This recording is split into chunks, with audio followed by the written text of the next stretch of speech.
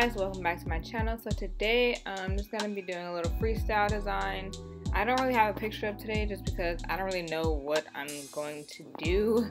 Um, but yeah let's just get into it. So first you want to start off by buffing your nails um, just so that the polish and everything will stick properly and it won't you know be all bubbly and cure wrong and do all these weird things that nails can do. So just cure each nail one by one take your time.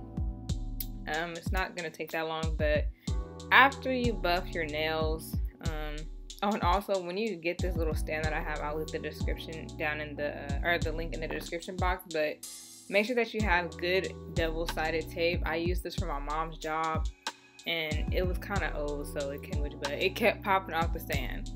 So yeah, make sure you have good double tape, double-sided tape, and then just continue to buff your nails. So yeah.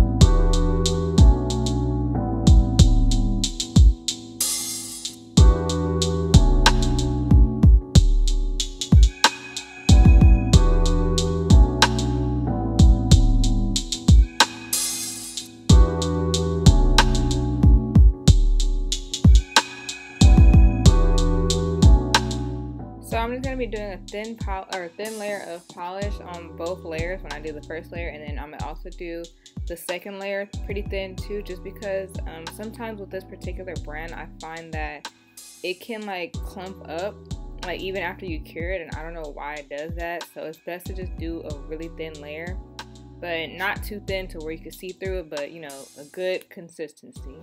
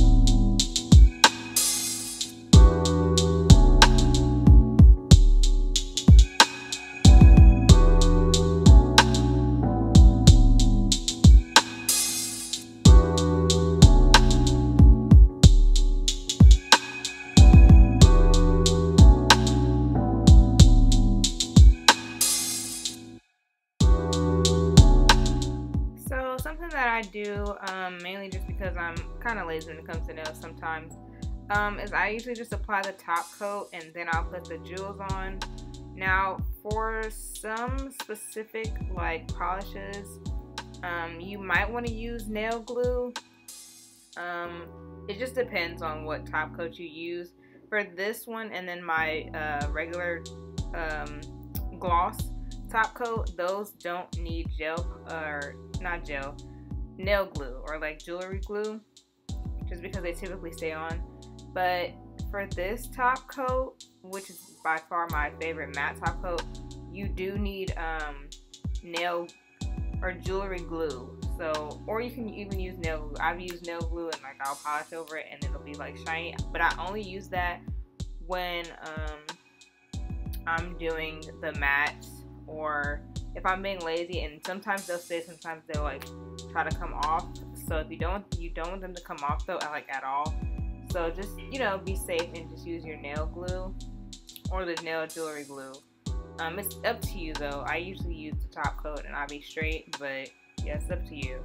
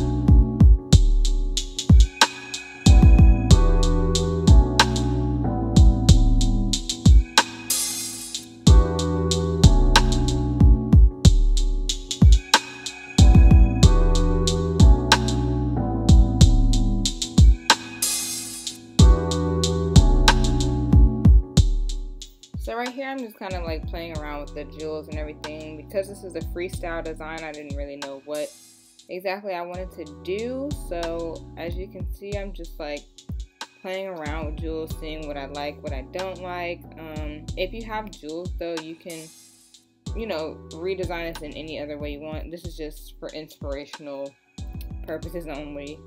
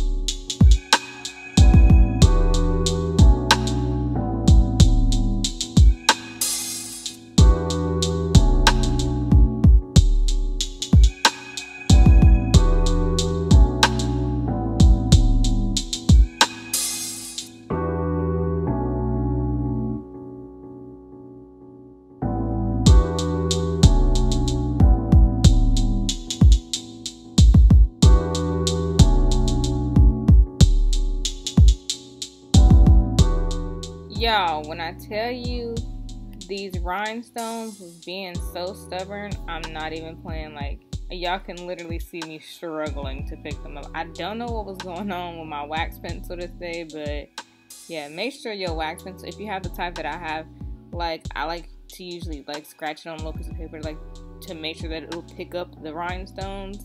And if you got the other type, then you won't need to deal with that. But yeah.